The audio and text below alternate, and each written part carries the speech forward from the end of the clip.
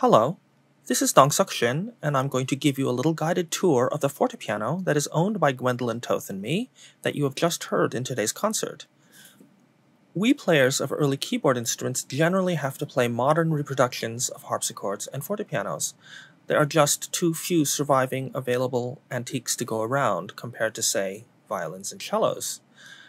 As an aside, it should be noted that only 2 to 3% of the fortepianos made by some of the most well known early makers have survived into our time, and for many known makers famous in their own days, none of their instruments have survived so far as we know.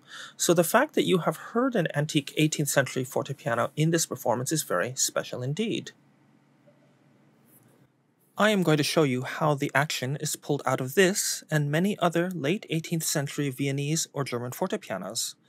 In this particular instrument, I first have to remove the name board. Then the action has to be lowered in order to get it out, and many instruments have what is called a sled, which slides out from under the action, lowering it about an inch.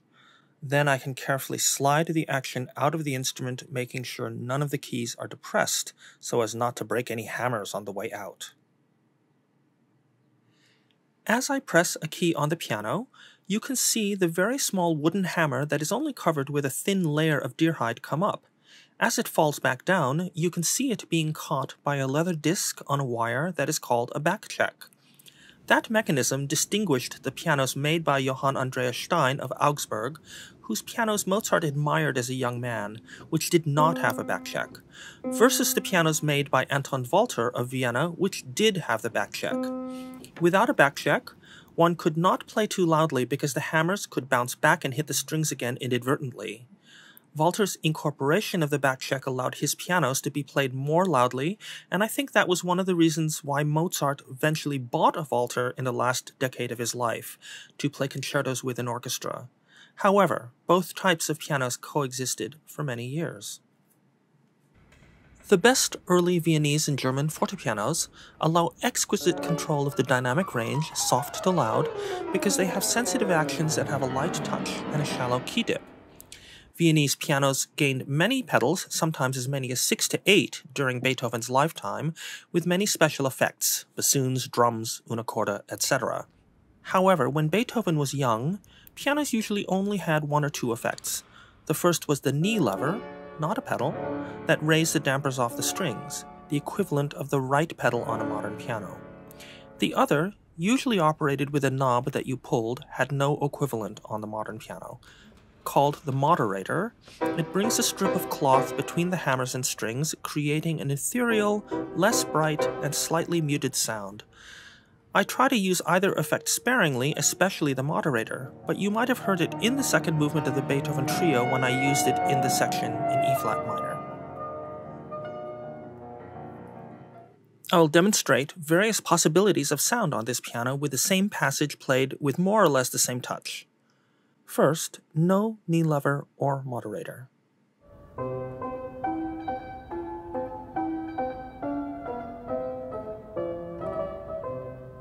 Now with knee lever.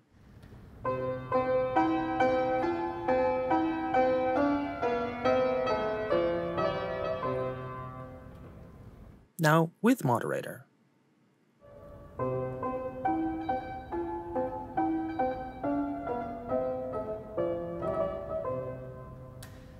Now with the moderator and the knee lever.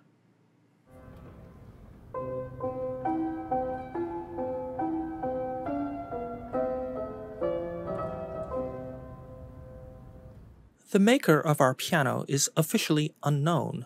It is not signed with the customary plaque that would have had the name of the maker and a phrase like instrument maker in and the city where he lived and worked. This piano only has the initials K, B, and AP on the name board. This piano's maker has been called a follower of Ferdinand Hofmann of Vienna. You will now see a series of photographs of details from this piano, always shown on the left, along with the wonderfully preserved Ferdinand Hofmann piano from around 1785 at the Metropolitan Museum in New York City, always shown on the right.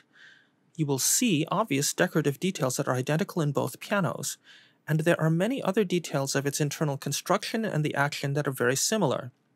But it is also obvious that our piano is not a Ferdinand Hofmann. However, over the years, I have found a maker who fits the bill. His name was Karl Benedict, Karl with a K, who ended up being an instrument maker in Graz. I have had the opportunity to examine two of the three known surviving signed pianos of Karl Benedict.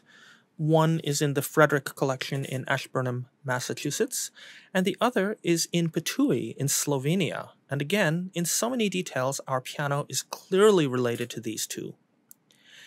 It is my belief that our piano was made by Karl Benedict around 1785 and is probably his earliest surviving piano. I suspect he may have worked in Ferdinand Hofmann's piano making shop in Vienna and made this instrument before he was a citizen of a city and a registered piano maker, which would have allowed him to sign his instrument with the usual plaque. But he left his initials on the name board, which is a big clue as to his identity. I still don't know what A P means, however. I hope you enjoyed this presentation. Thanks and bye for now.